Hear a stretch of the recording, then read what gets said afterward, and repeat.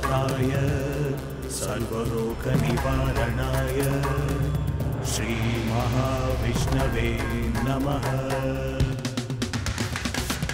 நம்பிக்கை வையடா தாண்டவ கோனே நீ உன் மீது நம்பிக்கை வையடா தாண்டவ கோனே மூன்றாவது கை இது நம்பிக்கைதானே அதை ஊன்றி வாழ்ந்து விட்டால் வெற்றிகள் தானே உள்ளத்தின் உயிர்மொழி நம்பிக்கைதானே?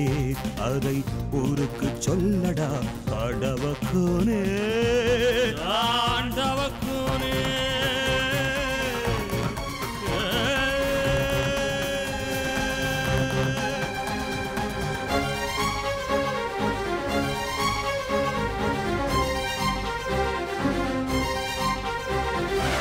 பூட்டு போட்டு மூச்சு காற்று அடைத்தவர் யாரும் இல்லை. ஆழ தோண்டி அறிவினில் போட்டு நம்பிக்கை தோற்றதில்லை.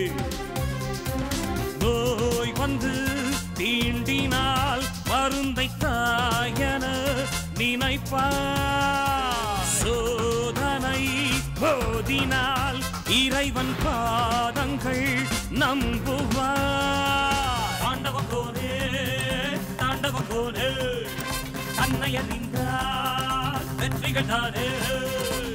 நம்பிக்கை வையடா தாண்டவ கோனே நீ உன் மீது. நம்பிக்கை வையடா தாண்டவ கோனே. மூன்றாவது கை இது நம்பிக்கைதானே அதை ஊன்றி வாழ்ந்து விட்டால் வெற்றிகள் தானே.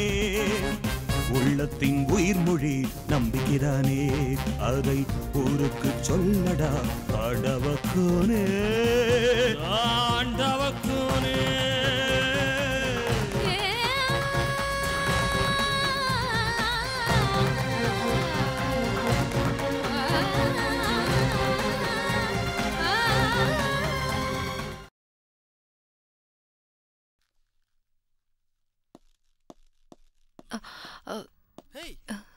நந்தினி தானே?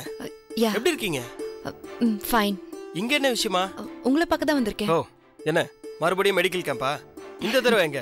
மடிப்பாக்கமா இல்ல சித்லப்பாக்கமா? எங்க நடத்தினாலும் நல்லபடியா நடத்துங்க. ஆனா சாந்தி நிலையத்தோட அஃபிலியேட் பண்ணி பண்ற மாதிரி எந்த ப்ரொபோசலும் வச்சுக்காதீங்க. ஏன்னா அடுத்த ஒரு ரெண்டு மாசத்துக்கு எங்களுக்கு டைட் ஷெடியூல் ஃபினான்ஸ் சைட்லயும் கொஞ்சம் ப்ராப்ளம் இருக்கு. ஆகாஷ் ப்ளீஸ் நான் வந்தது மெடிக்கல் கேம்ப் விஷயமா இல்லை? மெடிக்கல் கேம்ப் விஷயம் இல்லைன்னா? வேற என்ன? இருபது கிராமத்தை நாங்க தத்தெடுக்க போறோம். அதுல பத்து கிராமம் எங்களுக்கு பத்து கிராமம் உங்களுக்குன்னு ஆரம்பிச்சிடாதீங்க. நான் ஏற்கனவே சொன்ன மாதிரி we are busy next time பார்ப்போமே. ஆகாஷ் நீங்க கல்யாணம் செஞ்சுக்க போறீங்களாமே? கேள்விப்பட்டேன். ம் என்ன? தேவி சொல்லியிருப்பா. நீங்க ரெண்டு பேரும் தான் க்ளோஸ் ஃப்ரெண்ட்ஸ் ஆச்சே? இந்த கல்யாண விஷயமா தான் உங்ககிட்ட கொஞ்சம் பேசிட்டு போலான்னு வந்தேன். சரி பேசுங்க. பாத்தீங்களா? கல்யாண விஷயம் பேச ஆரம்பிச்சோன்னே ஃபோன் ரிங் ஆகுது. நல்ல சகனம் தானே? நான் பேசிட்டு வந்துடுறேன். ஒன் செகண்ட் ஹலோ ஆகாஷ் நான் தேவி பேசுறேன். லிசன் பதில் பேசாம நான் சொல்றது மட்டும் கேளு. ம். என்னோட கணிப்பு இந்நேரம் முன்னாடி நந்தினி உட்கார்ந்திருக்கணுமே. ம் அவளுக்கு நான் தான் பேசுறேன்னு தெரியக்கூடாது. மௌனமா நான் சொல்றது மட்டும் கேளு. சொல்லுங்க மிஸ்டர் மேத்தா. நீங்க சொல்லி நான் கேட்காம இருப்பேனா? என்ன செய்யணும்? சோ நந்தினி உன்னோட எதிரில தான் இருக்கா? என்னோட எதிர்பார்ப்பு பொய் ஆகல. ஞாபகம் இருக்கும்னு நினைக்கிறேன். ஆகாஷ் நான் நந்தினி பத்தி ஏற்கனவே உன்கிட்ட சொல்லியிருக்கேன். ஷீ இஸ் ஜெலஸ் உமன் பொறாம பிடிச்சவ. பொதுவாவே பொம்பளைங்களுக்கு பொறாம குணம் ஜாஸ்தின்னு சில ஆம்பளைங்க சொல்லுவாங்க. ஆனா நந்தினி பொறாமையுடைய மொத்த உருவம். நீ என்ன காதலிக்கிறது என்ன கல்யாணம் பண்ணிக்க போறது இதெல்லாம் அவளால ஜீர்ணிக்கவே முடியல. நீயும் ஆகாஷும் கல்யாணம் பண்ணிக்க போறீங்களான்னு என்கிட்ட கேட்டு கேட்டு மாஞ்சு போயிட்டா. இன்ஃபேக்ட் சொல்ல போனா அவளுக்கு உன் மேல ஒரு கண்ணு. ஆ, ச்சே! எனக்கு முன்னாடி நீ முந்திக்கிட்டேன்னு என்ன பார்க்கும் போதெல்லாம் புலம்புவா. நான் அவளுக்கு எவ்வளவோ அட்வைஸ் பண்ணி பார்த்துட்டேன். அவ கேக்குற மாதிரி இல்ல. அவளை பொறுத்த வரைக்கும் நீ வேற யார வேணாலும் கல்யாணம் பண்ணிக்கலாம். ஆனா அவ ஃப்ரெண்டு என்ன நீ கல்யாணம் பண்ணிக்க கூடாது. அதனால என்ன பத்தி உனக்கு தப்பான அபிப்பிராயம் ஏற்படுற மாதிரி கட்டுக்கதைகளும் ஃபால்ஸ் இன்ஃபர்மேஷனும் சொல்றதுக்காக வந்திருப்பா. டு பெயிண்ட் மீ பிளாக் எப்ப வந்தா? சொல்லி முடிச்சிட்டாளா? ம். Mister Mehta you don't worry Natraj என்னை மீட் பண்ண வந்தாரு. அந்த டைம் பார்த்து ஒரு கால் வந்தது. நான் அட்டன் பண்ணி பேசிட்டு திரும்பி பார்க்குறேன். நட்ராஜ் அதுக்குள்ளே கிளம்பிட்டாரு. ஸோ இப்போ வரைக்கும் நட்ராஜ் எதுவும் என்கிட்ட பேசலை. நட்ராஜ் போயிருப்பாரு. ஆனா இந்த நந்தினி போக மாட்டா. அவ சொல்ல வந்தத எப்படியாவது சொல்லணும் தவிப்பா. டோன்ட் என்கரேஜ் ஹர் டிப்ளமேட்டிக்கா பேசி அனுப்பிடு. உனக்கு பேசுறதுக்கு சொல்லியா தரணும்? ஓகே மிஸ்டர் மேத்தா நான் உங்களுக்கு அப்புறமா ஃபோன் பண்ணுறேன் see you.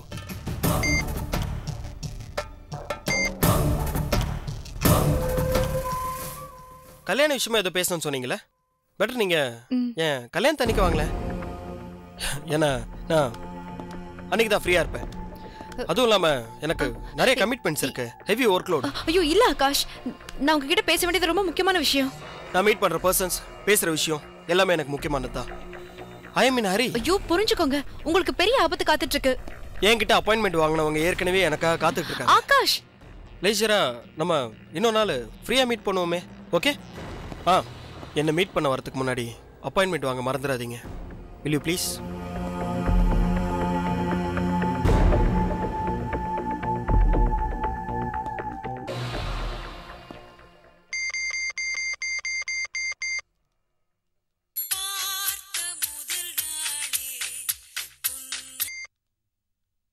என்ன? ஒரு வழியா பேசி சமாளிச்சு அவளை அனுப்பிட்டியா? ஆ தேவி நீ சொன்ன மாதிரி நான் அவகிட்ட பேசிட்டு இருக்கும்போது நடு நடுவில் இன்ட்ராக்ட் பண்ணிட்டே இருந்தா. நான் அவளை பேச விடாம அவாய்ட் பண்ணிட்டேன். எப்படி இருந்தாலும் ஓ மூலியமாக தான் அவன் எனக்கு தெரியும். அவ சொல்றதுல ஒரு மேட்டராகவே நான் எடுத்துக்க மாட்டேன். ஓகே ஃபர்தராக நான் அவளுக்கு அப்பாயின்மெண்ட்டும் தர மாட்டேன் okay you just relax okay bye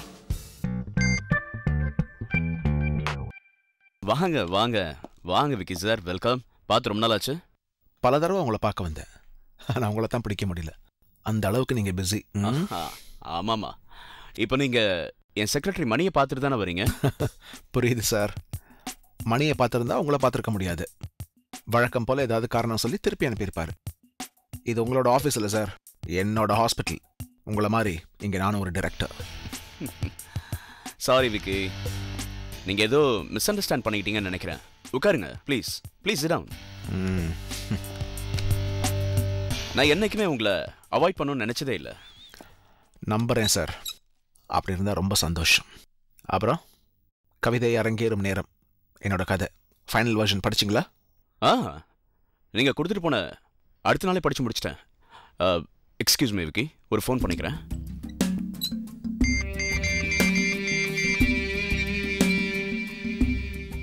யோ. மணி என்னையா? ஆ? எங்க இருக்க? ஆ? இந்த பாரு எனக்கு ஏகப்பட்ட அப்பாயின்மெண்ட்ஸ் இருக்கு. ஆ யார் யாரெல்லாம் பார்க்கணும்? எத்தனை நிமிஷம்? இதெல்லாம் நீ தானே பார்த்துக்கணும்? ஆ? உன் இஷ்டத்துக்கு நீ பாட்டுக்கு எங்கேயோ போய் தொலைஞ்சிட்ட? கண்டவங்க கிட்டலாம் நான் தான் மாட்டிட்டு முழிக்க வேண்டியதா இருக்கு. என்ன வேலையில் இருக்க போறியா? தூக்கட்டுமா? வே வே போன வை.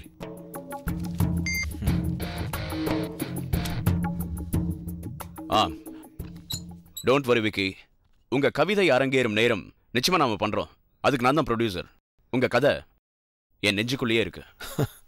கொஞ்ச நேரம் முன்னாடி வர டஸ்ட்பின்ல இருந்த என்னோட கதை. எப்படி சார் உங்க நெஞ்சுக்குள்ள இருக்கும்? இது குப்பையில் எப்படி? சார் இது அந்த மணியோட வேலையா தான் இருக்கும். நான் கொஞ்ச நேரத்துக்கு முன்னாடி டேபிள க்ளீன் பண்ணி விடான்னு சொன்னேன். அவன் எல்லாத்தையும் தூக்கி குப்பையில ச்சே குப்பைக்கும் கதைக்கும் வித்தியாசமே தெரியல சார் அவனுக்கு. சாரி சாரி சார் பிரேம்குமார் நான் கொஞ்சம் ஆர்வக்குளர் தான். ஆனா அடி முட்டாள் இல்ல.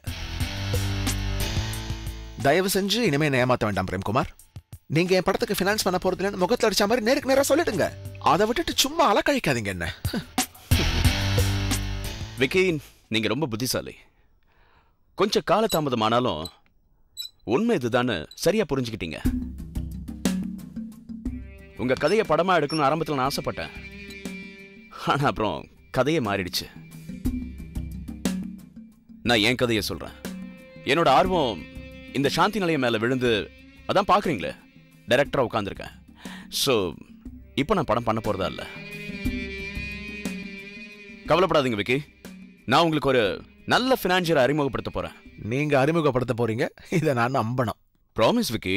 ப்ராமிஸா யார் சார் அந்த ஃபினான்ஷியர் எங்க சார் இருக்காரு? எப்ப சார் அறிமுகப்படுத்த போறீங்க? இந்த கேள்வியோட நான் உங்களை துரத்திக்கிட்டே இருக்கணும். நீங்க ஆஸ் யூஷுவல் மணியை விட்டு என்னை வெளியில விரட்டி அடிச்சுக்கிட்டே இருப்பீங்க. என் கதையை குப்பை தொட்டில தூக்கி போட்ட உங்களுக்கு உங்க ப்ராமிஸை தூக்கி போட எவ்வளவு நேரம் சார் ஆகும்? ஆனா ஒண்ணு சார் படம் எடுக்கணுங்கிற வெறி இதெல்லாம் எனக்கு ஒன்றும் குறைய போறதில்ல. இன்னும் ஜாஸ்தி ஆயிட்டே தான் இருக்கு. விடாமுயற்சிக்கு எல்லாரும் உதாரணமா கஜினி முகமது சொல்லுவாங்க ஆனா எல்லாரும் இனிமே இந்த பரத் விக்கியை சொல்லட்டும். கஜினி முகமது பதினாறு தடவை. ஆனா இந்த பரத் விக்கி பதினேழு பதினெட்டு பத்தொன்பது இருபதுன்னு முயற்சி பண்ணிக்கிட்டே இருப்பேன். நிச்சயமா கண்டிப்பா நான் படம் பண்ணுவேன் சார். உங்ககிட்ட இது ஒரு சவாலா சொல்லல. எனக்கு நானே சொல்லிக்கிறேன்.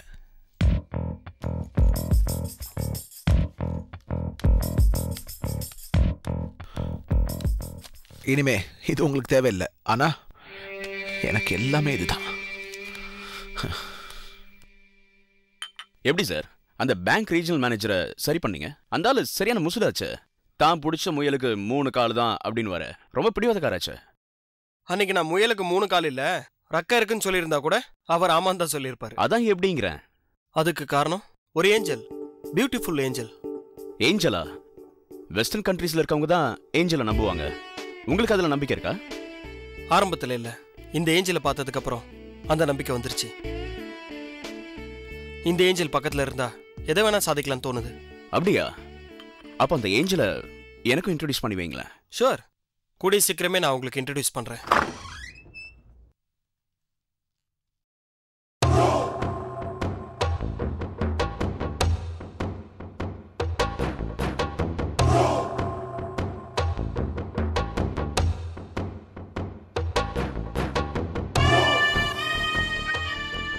என்ன பாக்குறீங்க? தேவி உன்னை பத்தி தான் பேசிட்டு இருந்தோம் உள்ளவா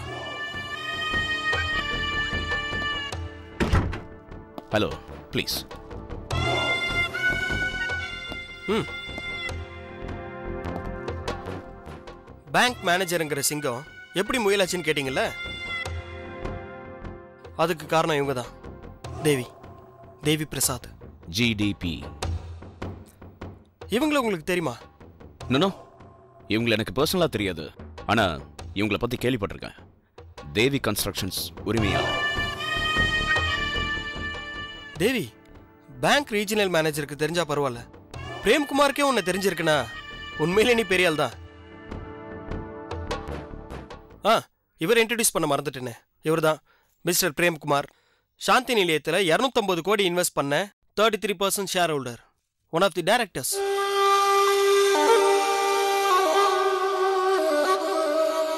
it's my visiting card பொதுவா விசிட்டிங் கார்டு வச்சுக்கிற பழக்கம் எனக்கு இல்ல என்னோட செக்ரட்டரி ரூபா கிட்ட தான் இருக்கும். நானும் பார்க்குறவங்களுக்குலாம் கொடுக்கறது இல்ல உங்களை மாதிரி வெரி இம்பார்ட்டன்ட் பர்சனுக்கு தான் கொடுக்கறது.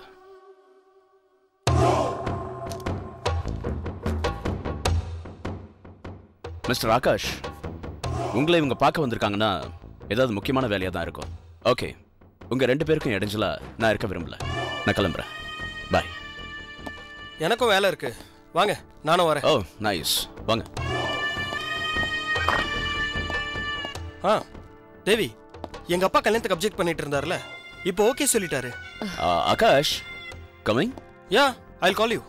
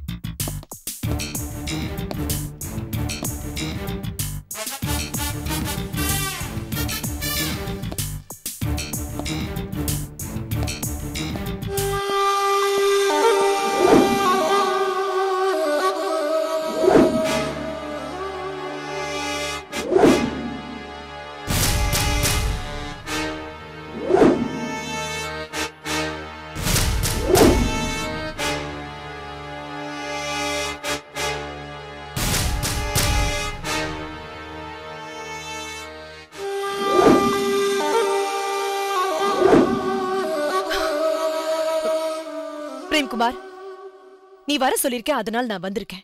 நான் வந்து எவ்வளவு நேரம் ஆகுது? வந்ததுல இருந்து எதுவுமே பேசாம இப்படி காக்க வச்சிட்டு இருந்தா என்ன அர்த்தம்? ஏன்? எனக்காக நீ காத்துக்கிட்டு இருந்ததே இல்லையா? என்னோட அப்பாயின்மெண்ட்காக எத்தனை பேர் காத்துட்டு இருக்காங்கன்னு உனக்கு தெரியுமா? ஆகாஷ்க்கு தெரியாம இருக்கலாம். எனக்குமா தெரியாது. அதிகாரமும் திமிரும் பொங்கி வழியிற குரல். பல வருஷங்களுக்கு முன்னால நான் கேட்ட அதே குரல். உன்கிட்ட அப்படியே இருக்கு. அது என்ன மாறல. எதிராளி அலட்சியமா துச்சமா நடத்துற உன் குணம் கூட தான் மாறல? அன்னையில இருந்து இன்னைக்கு வரைக்கும் நான் மாறவே இல்லை. நான் நானே தான் இருக்கேன். நீ தான் உன் பேரை மாத்திக்கிட்ட அமிகா தேவி பிரசாத்ங்கிற உன் பேர் கூட நல்லா இருக்கு. ஜிடிபி ஜிடிபி என் பேரை பத்தி ஆராய்ச்சி பண்ணவா என்ன இங்க கூப்பிட்ட? விஷயத்துக்கு வா. பரவாயில்லையே. சண்டே அதுமா என்ன வர வச்சிருக்க? நாம பேசுறது யாரும் கேட்க கூடாதுன்றதுக்காகவா ஆ. இன்னும் அந்த புத்திசாலித்தனம் உன்னை விட்டு போகவே இல்லை. தேங்க்ஸ் ஆமா நான் ஒரு விஷயம் கேள்விப்பட்டேனே. உனக்கும் ஆகாஷ்க்கும் காதலாமே. நீங்க ரெண்டு பேரும் கூடிய சீக்கிரம் கல்யாணம் பண்ணிக்க போறீங்களாமே. என்னோட ஜாதக ராசியோ என்னமோ. நான் காதலிச்ச பொண்ணுங்க எல்லாருக்கும் எப்படியோ கல்யாணம் ஆயிடுது. இன்னொருத்தனோட. நீ என்ன காதலிக்கவே இல்ல. அதுக்கு பேரு காதல் இல்ல. காதல்ன்ற வார்த்தைய அனாவசியமா கொச்சப்படுத்தாத. Okay cool cool cool down cool down. ஆமா உன்னோட பழைய கதை ஆகாஷ்க்கு தெரியுமா? ஆகாஷ்க்கு பிரசன்ட் கதையே தெரியாது. அப்புறம் எப்படி ஃப்ளாஷ்பேக்கு பழைய கதைலாம் தெரிஞ்சு வச்சிருக்க போறாரு? ம்? சான்ஸே இல்லை. ஓகே நீயாவது பழச ஞாபகம் வச்சிருக்கியா இல்லை மறந்துட்டியா? டெல்லி கொண்டல்வால். ஞாபகம் இருக்கா? அவர் கூட நாலு நாள் அந்தமானுக்கு இன்பச் சுற்றுலா போயிட்டு வந்தியே.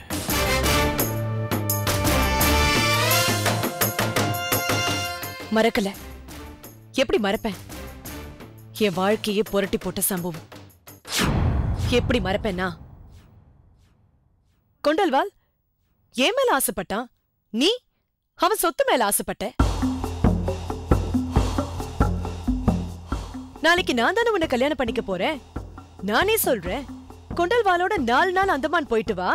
கிடைக்கிற கார் பங்களா எல்லாத்தோடையும் காலம் பூரா நம்ம சந்தோஷமா காதல் வாழ்க்கைய வாழலான்னு ஒரு கேவலமான ப்ரப்போசலோட நீ என் முன்னாடி வந்து நின்ன. கொண்டல்வாலோட அந்தமான் போக மாட்டேன். எனக்கு அதுல கொஞ்சம் கூட உடன்பாடு இல்லன்னு உன்கிட்ட கெஞ்சன அழுத ஆர்ப்பாட்டம் பண்ண ஆனா நீ கொஞ்சம் கூட மசியவே இல்ல. அதுக்கப்புறம் என் மனச கல்லாக்கிக்கிட்டு நாலு நாள் அந்த கொண்டல் வாளோட அந்த மண் போயிட்டு வந்தேன். I can never forget those days.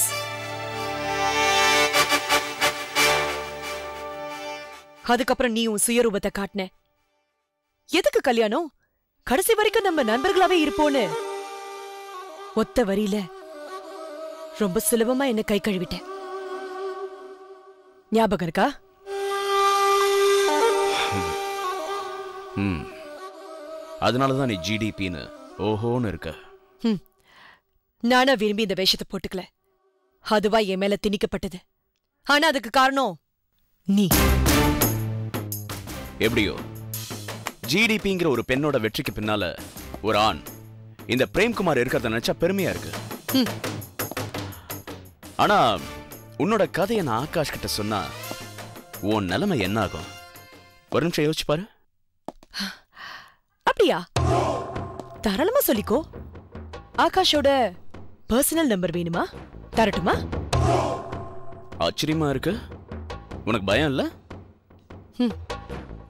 பயப்பட வேண்டியவன் நீதான்.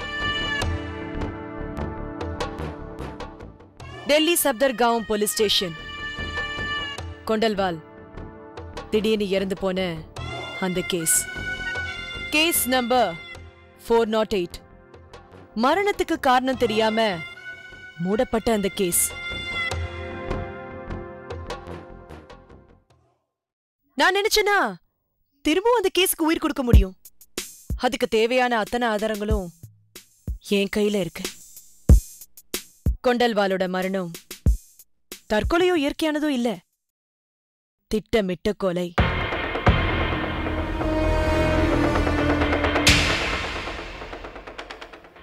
அந்த கொலையாளி யார்? அவன் எங்க இருக்கான்? என்ன செஞ்சுட்டு இருக்கான் தெரியலையே. உனக்கு தெரியுமா பிரேம்குமார்?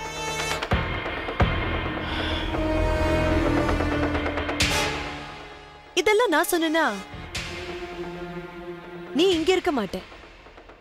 திகார் ஜெயில்ல இருப்ப.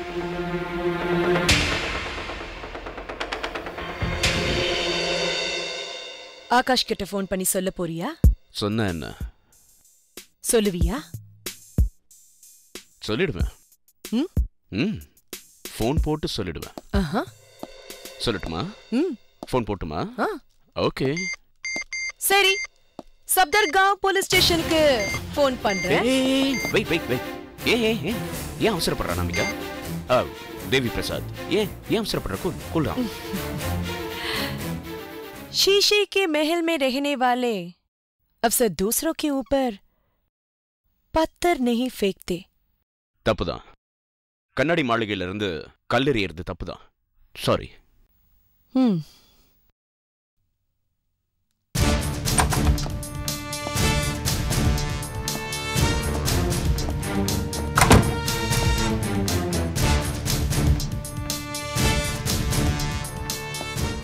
உன்னோட பழைய கதைய நான் ஆகாஷ்ட சொல்லுவேனா ஜஸ்ட் ஃபன் சும்மா விளையாட்டுக்கு சொன்னேன். இந்த ஆடுபுலி ஆட்டம் ஆடுறத நிறுத்திட்டு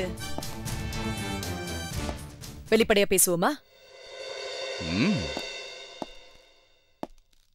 நம்ம ரகசியங்கள் நம்ம பழைய வாழ்க்கை இதெல்லாம் நம்மளோட இருக்கட்டும்.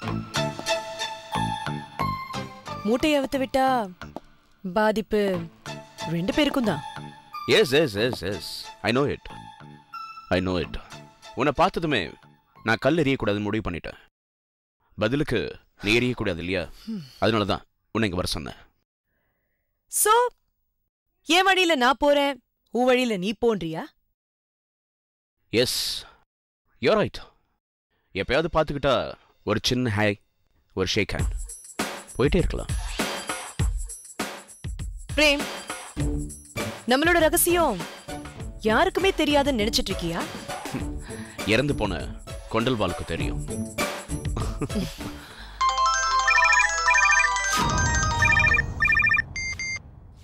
I'll be there in five minutes. I'll be there in five minutes.